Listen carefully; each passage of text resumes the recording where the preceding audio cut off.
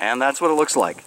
Hello, welcome to Waypoint Survival. Today, I'm going to show you how to make a unique nesting stove for the Stanley 2-Cup Cook Set using this 30-ounce bean can. Stay tuned.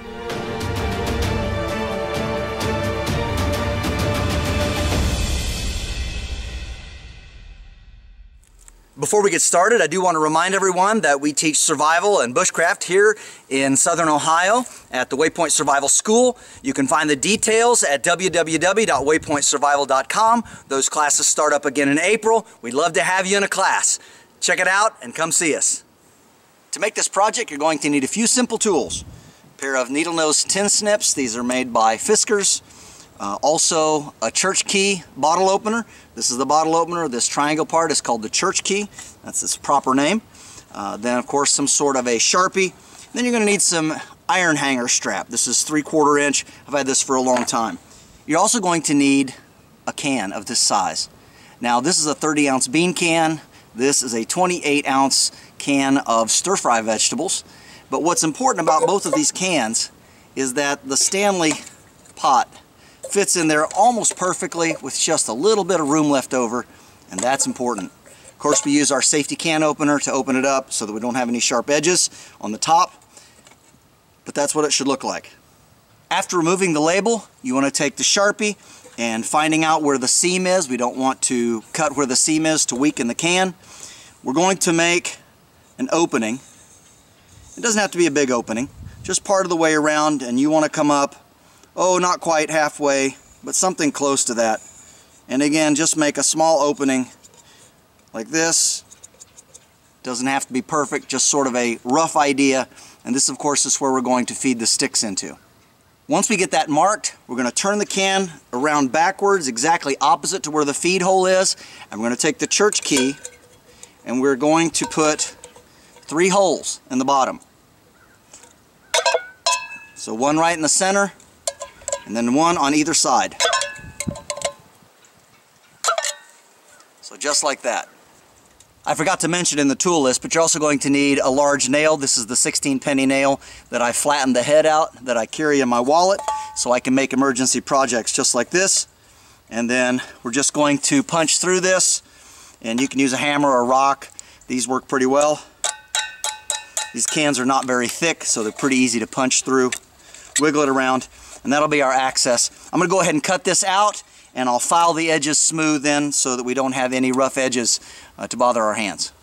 Now that we have that cut out and our hole nicely smoothed out, I also took a screwdriver and pushed down the tabs inside so that the stove can fit and nest around the cook set without having those tabs sticking up in the back. Next we take our hanger iron and using these larger holes we want to cut it off where each of these large holes will fit over top of the lip. So it looks like right about there. That's where we're going to need to cut it. And of course we can use the snips for that as well.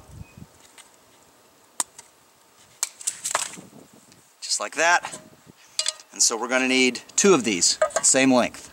After you get that unrolled, you want to go ahead and flatten these out the best you can. And then using the snips, you want to cut three slots here, here, and here, all facing up. And on the next piece, you cut three more slots, two facing up and the middle one facing down. That's so it can form an X, so it nests inside of itself, or a cross. This is the cross piece. Once you have them put together, then you can fit them over top of the can, just like this. If you've done it right, fits pretty snug doesn't rattle. And your Stanley pot fits right on top. Now the way this stove is made, it's multi-fuel. You can use sterno, put it down in there. You can light it with a match through the hole. Of course, put your cross pieces on top afterwards, like this. And then cook. You can also use this with twigs as a twig stove and you could use this with an alcohol burner. Basically anything you can fit inside this kit that will nest, you have a complete stove set. And that's what it looks like. There's also enough room in between the pot and the stove that you can put some sticks vertically in the can as well and that just increases the amount of heat and burn that you're going to get. And already we've got a good rolling boil and that happened really fast. I mean it was three to four minutes. So very effective stove, really works quite well. Once everything has cooled down nicely, go ahead and disassemble it. Of course you will want to clean it up because it is kind of black and sooty and the first time you burn this it's going to have some of this liner in here. Uh, this is not galvanized so that you don't have to burn any galvanization off. If you do get galvanized hanger strap you need to make sure and do a burn before you cook any food over it. Next we simply reassemble the stove putting all of our parts and pieces back together.